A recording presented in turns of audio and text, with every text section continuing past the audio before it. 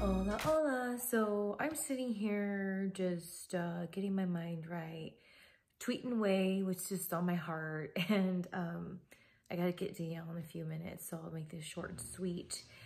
Um, something that I was about to tweet, and it was like this long tweet, and I was like, you know what?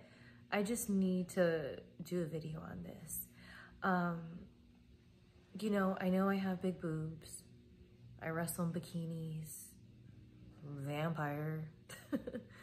um, I've been posting sexy content for years. Uh, I love cannabis. I love wine.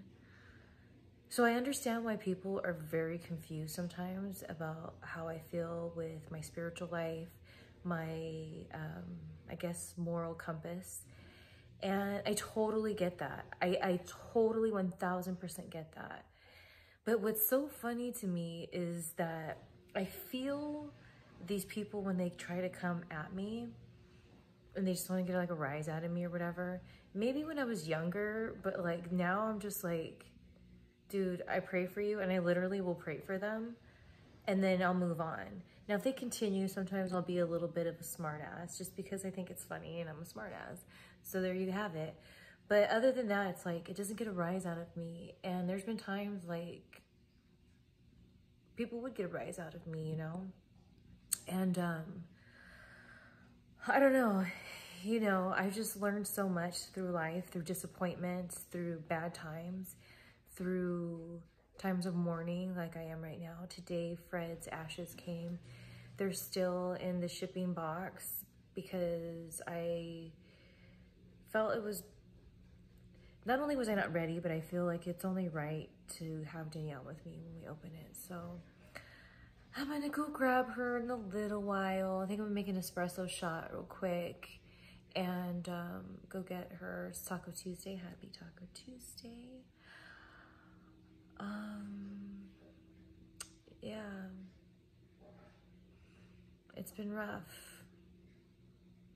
It's been really rough, but I'm so grateful for what Fred's passing. You know what? Let me get my tripod.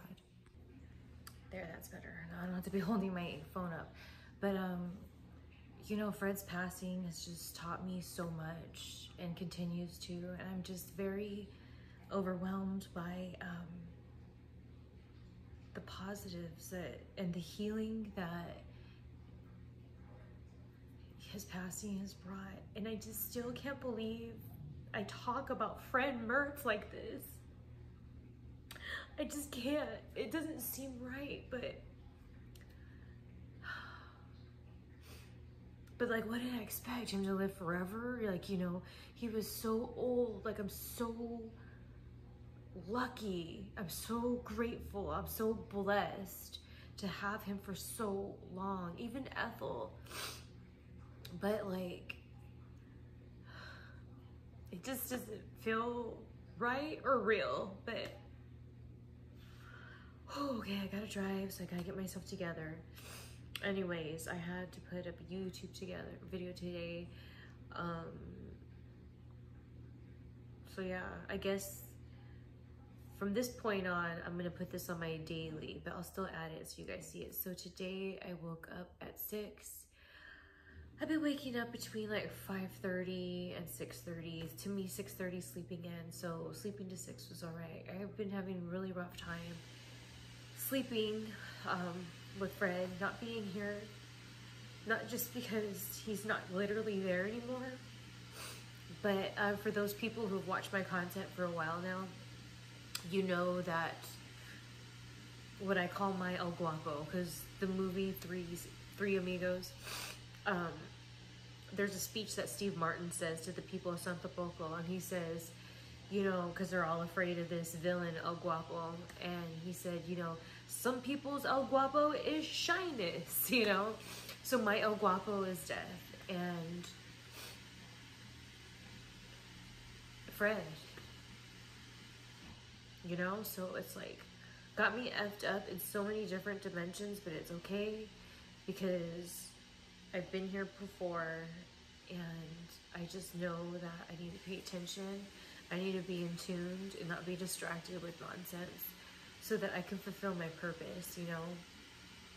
Anyways, all right, I'm gonna get myself together. I gotta get out and then I gotta shoot a bunch of stuff. All right, I'll talk to you guys later. Adios.